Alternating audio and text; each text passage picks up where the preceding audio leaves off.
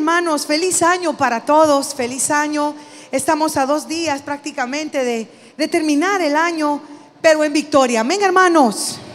Lo preocupante es que muchos de nosotros nos hemos estancado espiritualmente. Tenemos batallas, comenzamos conquistas, pero tal vez no las terminamos en este año 2019. Y ese es el tema de esta hora, estancados espirituales estancados espirituales. Y yo voy a pedir que por favor busquemos en Josué capítulo 5 versículos del 13 al 15. Josué capítulo 5 versículos del 13 al 15. Estancados espirituales. Déjame decirte que no solamente en este siglo sucede esa situación. Se dio hace muchos años y esta historia que encontramos en el libro de Josué nos lo relata tan claramente y lo bello es que Dios nos da la salida. Todo depende de la voluntad que nosotros tengamos en seguir adelante espiritualmente hablando. Y dice su palabra en Josué capítulo 5 versículos 13 al 15. Lo tenemos hermanos y dice así su santa palabra. Estando Josué cerca de Jericó, alzó sus ojos y vio un varón que estaba delante de él el cual tenía una espada desenvainada en su mano. Y Josué, yendo hacia él, le dijo, ¿eres de los nuestros o de nuestros enemigos? Él respondió, no, mas como príncipe del ejército de Jehová, he venido ahora. Entonces Josué, postrándose sobre su rostro en tierra, le adoró y le dijo, ¿qué dice mi señor a su siervo? Y el príncipe del ejército de Jehová respondió a Josué, quita el calzado de tus pies, porque el lugar donde estás es santo. Y Josué así lo hizo. Oremos, Padre Celestial, a esta hora. Gracias te damos, Señor, porque en unas cuantas horas estamos terminando este año 2019. Gracias, Cristo bendito, porque hasta aquí hemos visto tu mano poderosa sobre nuestras vidas. Gracias Señor, porque aunque tal vez sufrimos algunos fracasos, no lo tomamos como tal, sino como lecciones. Lecciones que tú nos has dado para poder seguir adelante. Ahora Cristo bendito trabaja en nuestra mente, nuestro corazón, para que lo que escuchemos en tu palabra podamos ponerlo en práctica y podamos seguir edificándonos y creciendo espiritualmente hablando. Bendice cada alma aquí presente, pues es en el nombre de Jesús que te pedimos todo esto y te agradecemos. Amén y amén. Pueden sentarse, hermanos, estancados espirituales. Me encanta el libro de Josué porque como lo vimos la semana pasada, es un libro en donde habla de conquista. Y me encanta porque del capítulo 1 al 5 vemos como Dios le muestra a Josué que él, Dios, estaba con él y con el pueblo. Y mostró Dios su poder a los ojos de todos. ¿Sabía usted que aún después que Moisés murió y ellos incursionaron, pasaron el río Jordán en seco? También le dio a Josué mucha autoridad, fortaleza y valentía a punto que si usted retrocede ahí en el capítulo 4, versículo 14, dice, en aquel día Jehová engrandeció a Josué a los ojos de todo Israel y le temieron como habían temido a Moisés todos los días de su vida. Como usted puede ver, Dios está cumpliendo lo que le había prometido. Desde Josué 1, 5, 6, 7, 8, 9, esfuérzate y sé valiente, no temas, porque yo iré contigo. Y eso se cumple. Pero al llegar al capítulo 5 vemos la, aparición, la aparición espiritual y la preparación. Yo te quiero decir algo. Hay batallas y hay cosas que tú tal vez y yo no conquistamos este año. A veces nos quedamos a la mitad. A veces quisimos emprender, qué sé yo, eh, estudiar, por ejemplo, en un colegio de teología y te metiste aún en línea en tanto instituto bíblico que hay ahora en línea y te metiste a un curso, pero allá por abril, allá por mayo, eso se vino abajo. Yo creo que si pasamos en los cultos del 31 canastas sobre los propósitos que cada uno de nosotros quisiéramos o queremos hacer para el próximo año, esas canastas rebalsarían. A mí me gustaría regresar a ganar almas a la calle. O a mí me gustaría meterme en la universidad, dice un joven. O a mí me gustaría mejorar mis calificaciones, tal vez dice un niño o una niña. A mí me gustaría, dice un esposo, recuperar el amor de mi esposa y viceversa. Muchas de nosotras mujeres podríamos decir, a mí me encantaría reconquistar mi hogar, reconquistar a mi esposo, que aunque está conmigo, pero, pero ya no siento que, que Él siente algo por mí, valga la redundancia. Y así podemos nosotros proponernos muchas cosas. Pero el problema que le decimos al Señor, quiero hacer esto, pero no nos preparamos espiritualmente para la conquista. Para las conquistas que tú tienes que hacer en tu vida en este año que viene, es necesario que nos preparemos. Y mira qué bello, porque en el capítulo 5, antes de Jericó, esta historia es muy importante, porque antes de Jericó dice en el 5, el, el título del capítulo, la circuncisión y la Pascua en Gilgal. Ellos estaban por conquistar. ¿Y qué sucedió? Que era una generación nueva. Vemos cómo Josué ya había tenido un encuentro personal con Dios al final del 5, pero anteriormente esta nueva generación no se había circuncidado. Ponga atención porque esta enseñanza es muy bonita, hermana Patti. ¿Y qué es eso de la circuncisión? Y mire, si mi niño no está circuncidado, mi niño no es, va a ser un verdadero cristiano. Un momento. En Romanos, Pablo habla ya de la circuncisión y la incircuncisión en la gracia. No se preocupe, punto y aparte. Pero ahorita era un pueblo que había nacido en el desierto. Lo que ellos habían escuchado de Dios, lo escucharon desde muy pequeñitos. Lo escucharon en palabras de, de Moisés, de Aarón. Vieron la tribu de Leví, vieron el tabernáculo, pero ellos no habían sido circuncidados. Entonces, en el capítulo 5 se toma la decisión, Dios la toma y dice, antes de entrar a la tierra prometida, circuncida, los que es quitar el prepucio de la parte genital del hombre. Eso era muy importante y es todavía para el judaísmo. Al nomás tener eso, usted lee el 5 en casa, sigue y dice, ahora vamos a celebrar la Pascua. Fíjate cómo Dios estaba preparándolos para entrar a la conquista. Y me encanta, ¿por qué? Porque todo el pueblo se circuncida para dejar el viejo mundo. Mira tu Biblia ahí en el capítulo 5 y versículo 9. Por eso lo circuncidó, para olvidarse, era un simbolismo. Y dice, y Jehová dijo a Josué, hoy he quitado de vosotros el oprobio de Egipto, por lo cual el nombre de aquel lugar fue llamado Gilgal hasta hoy. Les quería enseñar a ellos que para entrar a la conquista no tenían que traer, como decimos vulgarmente, el mundo en sus lomos, sino que tenían que venir, entrar como una nueva persona, como una nueva generación. Otra cosa importante era de que ya ellos habían dejado un mundo que muchos, oiga, esto es interesante, muchos de ellos no conocieron, sino que sus padres les habían enseñado el mundo idólatra egipcio en muchas ocasiones. Ellos habían nacido en el desierto, mas aún así Dios nos enseña la importancia de que no puedes decir que hemos creído en un Dios y cargar el mundo en tu espalda. Y cuando ellos se circuncidaron, entonces Dios dice, te quito el viejo mundo para que entren a algo nuevo. Luego, en el capítulo 5, continúa la Pascua. Se recuerda, de la película de los diez mandamientos en donde van, matan un, corderito, ponen la sangre en el dintel de la puerta, pasa el espíritu de la muerte, pero en la casa de los judíos la muerte no entró.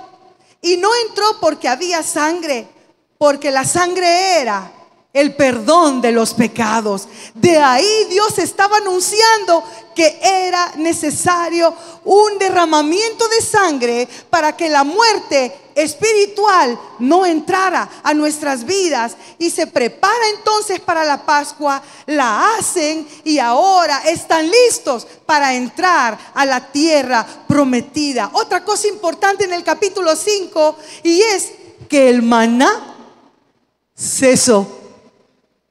No hubo más maná. ¿Por qué? Porque Dios en ese capítulo está cumpliendo lo que le había dicho a Moisés y que le dijo a Moisés, yo os sacaré de la aflicción de Egipto a una tierra que fluye leche y miel. Éxodo 3:17, usted anótelo. Ve cómo se va cumpliendo todo lo que Dios había prometido desde el Éxodo, lo repite en Deuteronomio y entramos a la conquista. Pero ahora viene algo precioso, hermanos, y vaya conmigo a donde comenzamos. Josué capítulo 5 versículos 13. Estando Josué cerca de Jericó, alzó sus ojos y vio un varón que estaba delante de él, el cual tenía una espada desenvainada en su mano. Y Josué, yendo hacia él, le dijo, ¿eres de los nuestros o de nuestros enemigos? Mira qué precioso. Él respondió, no, mas como príncipe del ejército de Jehová he venido ahora. Josué, punto, hasta ahí. Esto es importantísimo. ¿Por qué, hermana Patti? Porque a quien se encontró en ese lugar era a Cristo. A Cristo. Pero si apenas vamos por Josué, hermana Patti, no hemos llevado a Mateo. Teológicamente hablando, esto se conoce como una teofanía. ¿Y qué es eso, hermana Patti? La teofanía era, se conoce en teología, Dios se hizo hombre para ser visible en la tierra a través de su Hijo Jesucristo. ¿Y por qué lo dice? Porque mire conmigo el 14 después del punto y seguido. En, el principio, él respondió no, mas como príncipe del ejército de Jehová he venido. No dijo como rey, dijo como príncipe. Desde ahí esa teofanía se cumple y sella la presencia de Dios en Josué. Ya se habían preparado, ya se habían circuncidado, ya habían hecho la Pascua, ya habían comido del fruto de la tierra, ya se había terminado. En este capítulo termina el desierto. Todo desierto tiene un fin. Amén. Para la generación anterior terminó en el capítulo 5. Pero usted me podrá hacer la pregunta, hermana Patti, ¿y entonces qué les pasó? Mira qué bello, porque si pasamos al 6, es la toma de Jericó. ¿Se acuerda? Los israelitas le dieron siete vueltas, le dieron siete vueltas a Jericó. Oh, oh, oh, gritaron todos, cayeron los muros de Jericó. Mira qué precioso, porque esa conquista no la hizo Josué, la hizo el Señor príncipe de Jehová de los ejércitos. La primera conquista la hizo Él, gloria a Dios, como la primera conquista en nuestras vidas, en nuestros corazones, la hace Cristo Jesús. Si tú has venido en esta tarde y no le has recibido aún, abre bien los ojos, porque Cristo está cerca. Abre bien los ojos porque Cristo está cerca. Le pasó a Josué. ¿Qué dice el versículo 13? Y mirando Josué a lo lejos, vio un varón, el cual él confundió al principio porque no sabía, estaban por entrar a Jericó. Ya había pasado lo de Raab la ramera. Mas sin embargo usted dice, ¿y por qué el Señor botó los muros? Porque era necesario que Dios mostrara a esta nueva generación que Él es el poderoso de Israel. Él es el poderoso que iba a votar a sus enemigos grandes. Por eso aquel corito que dice, el poderoso de Israel. ¿Por qué? Porque Él con solo un... puede votar un muro. Esa es tu conquista, te estancaste, ya lo vamos a ver por qué. Si Dios tiene el poder en sus manos. Pero tenemos como punto uno que abrir bien los ojos. Como punto dos, prepararnos espiritualmente hablando. Y me encanta porque conquistaron Jericó en el capítulo 6, pero en el capítulo 7 se estancaron. ¿Y por qué, hermana Patti? Ya habían conquistado, entraron el arca, las trompetas, los panderos, hasta cacerolas de seguro llevaron para hacer la boya. Pero miren el capítulo 7 de Josué. Pero los hijos de Israel cometieron una prevaricación en cuanto al anatema. Y ahí habla de Acam. Él tomó de los enemigos. Pero me encanta porque miren el 2. Josué se estancó espiritualmente en un segundo. Mira lo que dice. Después Josué envió hombres desde Jericó a Jai, que estaba junto a Betabén hacia el oriente de Betel. Y les habló diciendo, ya no fue el conquistador, mandó. Mire qué importante. Ya no fue él, yo voy adelante porque yo soy el conquistador Josué. El Señor me lo dijo en Josué capítulo 5, pero en esta vez como ya habían conquistado la primera gran ciudad, ¿qué sucedió? Se atuvo. Se atuvo. Como muchos padres de familia. Papá, vamos a ir a la iglesia. Ay, no, vayan ustedes. Tal vez aprenden algo bueno, les decimos, ¿verdad? Mira, viejo, vamos, aunque sea el culto de las nueve. Ay, no, hoy quiero quedarme durmiendo. Mejor anda tú, tal vez cambias. Y en este caso, mira qué bello porque Josué se descuidó espiritualmente y ¿qué les dijo? Subid y reconocer la tierra. Delegó algo que a él le correspondía, si apenas iba a comenzar. Y miren el punto y seguido. Y ellos subieron y reconocieron a Jai. Y volvieron a Josué y le dijeron, no, Josué, eso es pan comido, como decimos en El Salvador, ¿verdad? Es pan comido. No suba todo el pueblo, sino suban como dos mil o tres mil hombres. Y tomarán, ay, que vayan. Mire, mire, mire, mire, mire el punto y dice, y el punto y coma. No fatigues a todo el pueblo yendo ahí. Pues si el pueblo es chiquito, si así te dice Satanás. Y vos, no, hombre, ¿para qué te vas? Mira, vamos a ganar al hoy. ¿Y para qué vamos a ir? Mira, si es gentillal el que va, si ni van a notar que no vas a ir tú.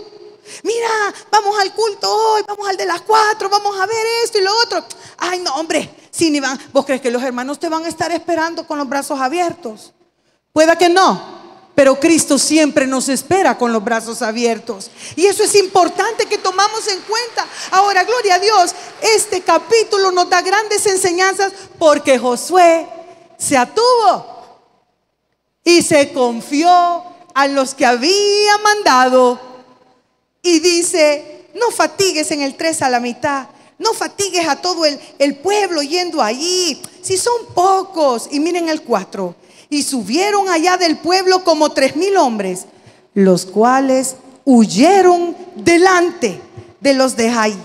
Y los de Jai mataron de ellos unos 36 hombres y los siguieron desde la puerta hasta Sebarín y los derrotaron en la bajada por lo cual, oye, después del fracaso, los derrotaron en la bajada, por lo cual el corazón del pueblo desfalleció y vino a ser como agua. Y mira el 6. Entonces Josué rompió sus vestidos y se postró en tierra sobre su rostro delante del arca, porque era la presencia de Dios, el arca del pacto en medio del pueblo. Dice, se, postró sobre su rostro delante del arca de Jehová hasta caer la tarde. Ahí estuvo todo el día. Y él y los ancianos de Israel echaron polvo sobre sus cabezas. Ese era símbolo de dolor. Y Josué dijo, mira, mira qué injusto. Ay, Señor Jehová, ¿por qué hiciste pasar a este pueblo el Jordán? Para entregarnos en las manos de los amorreos, para que nos destruyan. Ojalá nos hubiéramos quedado al otro lado del Jordán. Ay Señor, ¿qué diré? Ya que Israel ha vuelto la espalda delante de sus enemigos. Miren el 10. Y Jehová dijo a Josué, levántate. ¿Por qué te postras así sobre tu rostro? Hoy en la tarde, los que estamos aquí, que hemos venido, como el pastor nos ha estado enseñando, a echar nuestras culpas a Dios. Señor, si yo no hubiera venido tanto a la iglesia, no hubiera perdido mi matrimonio. Señor, si yo hubiera sabido, no hubiera comprado tal cosa, vehículo, casa, qué sé yo. Señor, si yo hubiera sabido que tú no ibas a ir, de... pero si hace un capítulo atrás estaban muy creídos, que habían ganado la conquista, que habían ganado Jericó, una ciudad preciosa. Allá en Israel es un monte, hay un monte precioso a un ladito y se ve la ciudad de Jericó, que linda con Jordania. Los amorreos, los jebuseos y todos ellos vienen de ese lado y por eso mencionan el río Jordán, porque el río Jordán está, valga la redundancia, en Jordania.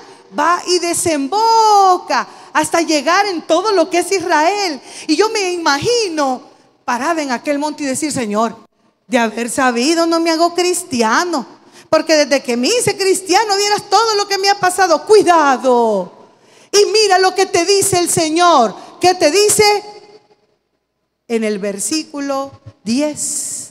¿Qué dice? Y Jehová dijo a Josué, levántate. Repitamos iglesia. Y Jehová dijo a Josué, eso te dice en esta tarde Dios. Levántate, déjate de religiosidades. Porque antes de la conquista, antes de irte a Jai, ni siquiera te tomaste el tiempo de ir a ver cómo eran, dice el Señor. Ni siquiera te tomaste el tiempo de investigar. Otra cosa importante, cuando ya habían fracasado, ¿sabe qué hizo? Se fue a estar todo el día o la mitad del día en el arca del pacto como tú y yo muchas veces hacemos. Ahorita todo marcha bien. ¿Y vas a ir a la iglesia? No, aquí lo vamos a ver desde la televisión. Mira, vamos a la iglesia. No, si todo, mira, tengo trabajo, la familia está bien, han estrenado más de la cuenta. No, si ya tenemos para la cenita el 24, hoy tenemos para la del 31, nos vamos a ir a dar una vueltecita allá por el mar. No, si todo marcha bien. Así decía Josué. Pero cuando vino y de repente sale un hijo en un carro y tiene un choque atroz. Ay, Señor. Y siempre el niño pequeño de la casa, vea que yo siempre le llamo el metidito, ¿verdad? ¿Qué te dice? Y hoy vamos a ir a la iglesia. Claro que sí. Hoy vamos a ir a los cinco cultos. Así como dice el pastor, tal vez estando en, la iglesia, los cinco cultos, enderezamos a tu hermano y nos dan un carro nuevo. Dejamos de venir a Viernes de Milagros, pero hoy vamos a venir. ¿Y por qué? Porque el bicho chocó el carro y no tenemos carro. Hay que irle a pedir al Señor uno. Pero ¿qué le respondió Dios a Josué? Levántate, Josué, ¿qué te pasa? Es que aquí te estoy adorando. Porque fíjate que tú, tú prometiste, ajá, se estancó. En el capítulo 7, Josué se atuvo a que como nos enseñó nuestro pastor hoy en la mañana, era un buen servidor. Josué se atuvo a que lo tenía todo, tenía el respeto del pueblo. Entonces, hermana Patti, nosotros de qué manera nos hemos estancado? Más que todos los que somos hiper, super, dueños de la silla en donde está sentado. Dueños de su silla. Dueños de su silla en donde usted dice, aquí nadie me mueve. Sí, pero en, en su corazón no hay movimiento. No hay movimiento. Porque cree que estar sentado en la silla va a cambiar todo por fuera, cuando Dios necesita cambiarnos por dentro. Y este mensaje quizá no es para nuevos, nuevas personas que no conocen a Jesús, pero sí para los que ya tenemos años de estar aquí, para los que tenemos años de venir, perdóname que lo veo en un segundo, a calentar la silla. perdón, se me salió. Los que venimos a calentar la silla, perdón, se me salió. Porque muchos podemos estar pegados en esa silla y vivir lejos de Dios. ¿Y por qué vivimos lejos de Dios, hermana Patti? Porque nos estancamos espiritualmente. ¿Y por qué nos estancamos? Porque se nos olvidó ocuparnos del Espíritu Santo. Se nos olvidó del Espíritu Santo, hermana Patti. Claro. ¿Y cómo nos vamos a ocupar del Espíritu Santo? Bueno, recuerda que siendo cristianos queremos vivir en la carne y eso trae aflicción, desgaste, estancamiento espiritual, alejamiento total de Dios. Pero ocuparse del Espíritu es acercarnos a Él para que Él, lo que decía el pastor hoy en la mañana, para que Él se acerque a nosotros. ¿Y cómo lo vamos a hacer? Por medio de la oración, nuestra alma toca el corazón de Dios, no solo para pedirle, no solo para pedirle, sino para adorarle. La oración nuestra se ha vuelto un rezo. Señor, y, y, lo digo con mucho respeto, pero es tiempo que tengamos un avivamiento espiritual para disfrutar y deleitarnos lo que Dios tiene para cada uno de nosotros. Pero muchos de nosotros, Señor, gracias por esto, gracias, lo cual es correcto. No me malinterprete. Pero ¿qué le parece eh, si ocuparnos del Espíritu en oración en el 2020 es comenzar una oración primero en humildad y decirle, Cristo yo te amo. Cristo yo te amo. La, la, la, la, la. Jesús. Solo eso es alabanza a nuestro Dios. Sin necesidad de estarle diciendo, te pido, te pido, te pido, gloria a Dios. Miren, hay preciosas alabanzas que estos muchachos nos están enseñando. Pero qué duro, qué duro. Sabes que cuando tú oras, tienes que invocar el nombre del Señor. ¿Y por qué lo dice hermana Pati? Y no dice, y todo aquel que invocare el nombre del Señor será salvo. ¿Y cómo lo voy a invocar, hermana Patti? En primer lugar, tenemos que humillarnos, hermanos. Y humillarnos es bajarnos de la nube en donde andamos. Es bajarnos de la nube en donde andamos. ¿Por qué? Porque Cristo es la nube para dirigirnos de día y la columna de fuego para dirigirnos de noche. Pero si estamos sobre la nube y sobre la columna de fuego, no lo vamos a poder ver. Pero si nos humillamos ante Él en oración, comenzando por eso, y nos hincamos y le decimos a Dios, Cristo, yo te amo, postrado, no solo en el canto, no solamente en la iglesia, el crecimiento espiritual comienza en nuestro corazón. Uniéndonos y clamándole, invocándole al Señor, teniendo una vida de la oración, aprendiendo a orar en todo el día. En vez de decirle, mira Señor, gracias, gracias. ¿Por qué? Porque Dios se manifiesta. Hermanos, créame, Dios se manifiesta. Yo doy testimonio de eso como ustedes no tienen una idea. Mi hermano mencionaba que me había ido un viajecito el fin de semana. Hermano, yo dije, Señor, no tengo que llevar este niño al zoológico porque ese era el propósito del viaje. Vamos a ir al zoológico. Pero tú y yo somos mayoría. Y miren, hermano, yo dije, Señor, dame valor. Dame valor porque sinceramente tengo que hacerlo. Si tú vas conmigo, yo tengo que creer que eres un Dios poderoso. El poderoso de Israel, hermanos, agarra el carro a las 4 de la mañana y le digo al niño, subite, vámonos. Y nos vamos. Hermanos, en mi, en mi colonia pues nos tienen atrapados con unas plumas allí. Y no pude salir por la vía corta. Y me fui por la vía larga. Primer obstáculo, en el semáforo entre San Antonio Abad, 4 de la mañana, un alma no había. Y un carro de la PNC se para en la esquina. Y vengo yo y di un viraje como para salir de regreso.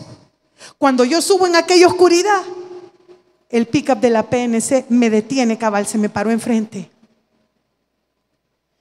Pero cuando uno pone sus ojos en Cristo y cree en sus milagros, ese avivamiento llega porque Él te lo enseña a través de su presencia. Y miren hermano, gloria a Dios. Y de repente bajo yo el vidrio y yo me les quedé viendo, pues, porque me, me, paralicé. Y cuando me paralicé, yo solo vi que el motorista bien así, bien elegante, vea. Aquí la pati callada, dije yo. Solo tú y yo, Señor. Vine yo y les dije buenas noches. Estaba oscuro, era de día, pero estaba oscuro. Buenas noches. Solo me hace uno de los que iba atrás. Dios le bendiga, hermana, me dijo. De ahí la fortaleza sentí que me la dio Dios. Me la dio Dios porque se manifiesta si tú lo invocas. Si tú le dices, Cristo, tú eres todo para mí. Pero estamos preocupados no por el crecimiento espiritual, sino por qué vamos a comer, cuándo me vas a sanar, si me van a pagar, si el niño va a cambiar. Cuidado. El crecimiento espiritual lo va a continuar, no Dios, tú y yo. Pero tenemos que tener una vida de oración. Otra cosa que tenemos que tener para un crecimiento espiritual es una vida de ayuno. Se nos ha olvidado. El culto de ayuno es el día de mañana. Y si tú vives lejos, no necesariamente tienes que estar ahí, pero lo puedes hacer en tu casa. Puedes ayunar, ¿por qué? Porque ayunar es abstenerse de un alimento para dedicar tiempo a Dios en oración, canto y lectura. La falta de alimento te hace bajarte, como decir, se me bajó el azúcar, algo así. Pero eso no es para rebajar, señora. No es una dieta. Es un acto de fe, humillando el cuerpo y dedicándole el tiempo al Señor. El ayuno humilla el alma delante de Dios. La oración muchas veces necesita del ayuno para su respuesta. Todo ayuno tiene que tener un propósito definido. ¿Por qué tú ayunas? El ayuno es para fortalecimiento de nuestra vida espiritual. Fíjese que yo, yo nunca he ayunado. Prueba, prueba. ¿Por qué? Porque Cristo lo dijo. Esta generación no sale más que con ayuno y oración. Ahora, otra cosa importante por el cual nos hemos estancado espiritualmente. Y aquí te lo digo rapidito. Se nos ha olvidado mostrar reverencia y adoración dentro de la casa de Dios. Y eso es con las personas que se levantan. Perdóname que te lo diga, pero es la realidad. Cuando el tabernáculo estaba erigido y el sumo sacerdote entraba, todo el pueblo callaba. Cuando Dios se mostraba en el tabernáculo y ellos estaban en sus tiendas, ellos salían de su tienda y veían lo que Dios tenía que decirle al sumo sacerdote, a Moisés. Pero muchas veces yo te pregunto, ¿a qué vienes al culto? ¿A qué vienes? Ya esto está requete contrarremachado. ¿A cobrar? ¿Te esperas ahí afuera para, para pagar lo que debes? ¿A qué venimos al culto muchos de nosotros? Es importante que si tú estás sentado aquí, participes del culto, participes del servicio. Yo le alabo de corazón, yo le alabo con mi voz. Ya viste vos, ya viste. Hoy otro grupo de, horas, de adoración, sí. Eso no la voy a cantar. Mire, yo aprendí algo que con los jóvenes a veces lo hago. Si yo no me puedo la letra, yo la, la leo. La, la, la, la, la, la, la, la, la, la, la. Ay, hermana Pati, usted es una gran bayunca. ¿Y usted que anda tralareando el reggaetón? Tarararararán, taran. Tan, taran. Ve la hermana Pati, bien se la oye, claro. Si andamos talaleando canciones, o como las señoras de antaño, ¿se acuerda, señora? Amorcito corazón, tararararán, tarara, tururururu. ¿Se acuerda? Risa nos da a todos. ¿Y por qué no le cantamos al Señor? ¿Por qué no le cantamos al Señor? Nos estancamos, gloria a Dios, espiritualmente hablando, porque venimos a su casa pero no participamos del culto. No participamos, levante sus manos. Ay, ya van a decir, ya vas a ver, que levanten las manos, ya vas a ver, ya vas a ver. Y a mí me daba risa. Mi papá tenía algo que cuando venía algún cantante invitado, vea, y, él estaba abajo, aquí sentado, con aquel carisma que a veces venía, vea, y de repente el, músico, yo me acuerdo cuando vino Alex Campos, me acuerdo, a mí me encanta ese, ese, ese cantante, y de repente vino con su vestido que era vestimenta de artista, pues así era él, vea, y mi papá, si no le cambian la ropa, no canta, dijo. Y el joven en aquel entonces era bien humilde. Y alguien de los jóvenes le consiguió un su saco y algo y subió a cantar porque él quería cantar. O a veces decían, póngase en pie que vamos a alabar al Señor. Y mi papá decía a veces, decirle que no me canse la congregación, que lo siente. ¿Me entiende? Es importante que tú alabes dentro de la iglesia. Si están orando colaborador, no, colaboradores no, porque ese es mi jefe. Hermanos en Cristo, guardemos los teléfonos. Aún los que trabajamos aquí, porque estamos en un momento especial. Y no tenemos que estar viendo qué está sucediendo en el trabajo, ni en escuela bíblica, ni en la cafetería, ni en el parqueo, ni en los baños, ni allá afuera. Venimos para escuchar la palabra del Señor y adorar su nombre. Gloria a Dios. Pero muchas veces nos estancamos por eso, porque estamos, yo tengo compañeros que a mí me dan no sé qué, porque todo el mundo está orando. No, hermanos, Dios se merece respeto. Dios se merece respeto. Todo nuestro tiempo, toda nuestra atención. Otra cosa importante, gloria a Dios, seamos amables unos con otros. Saluda al que está a la par. Hola hermano, mi nombre es Patricia. Mucho gusto. Bello, como le voy a dar mi nombre, me va a saltar. Sí, con los dos dólares que andan en la cartera, créame que lo va a saltar. Cuidado, seamos amables los unos con los otros. Otra cosa importante, a la iglesia nos venimos a alimentar de su palabra. El pastor lo dejó más que claro. Me encantó lo que dijo hoy en la mañana nos fortalecemos con la prédica, pero nos alimentamos leyendo la Biblia. Otra cosa, porque ya dejamos de crecer? Porque perdimos la fe en Dios. Dejamos de creer en sus milagros. También nos estancamos porque no nos gusta hacer la voluntad de Dios, sino que solo lo que decimos. Un hijo testarudo es aquel que escuchando el consejo no lo hace. Y muchas veces nosotros, la iglesia, nos comportamos como hijas de testarudas, que Dios nos está diciendo nuestras verdades y no queremos escuchar. Pero mira qué maravilloso. Dios, a pesar del estancamiento espiritual, no abandonó a Josué. Josué muy afligido de lo que estaba pasando, dijo, Señor, perdonanos, mira. Y Dios le dice en el 10, levántate, ¿Por qué te postras así sobre tu rostro? Israel ha pecado. Y mira, en el 13, dice Dios y nos da la salida.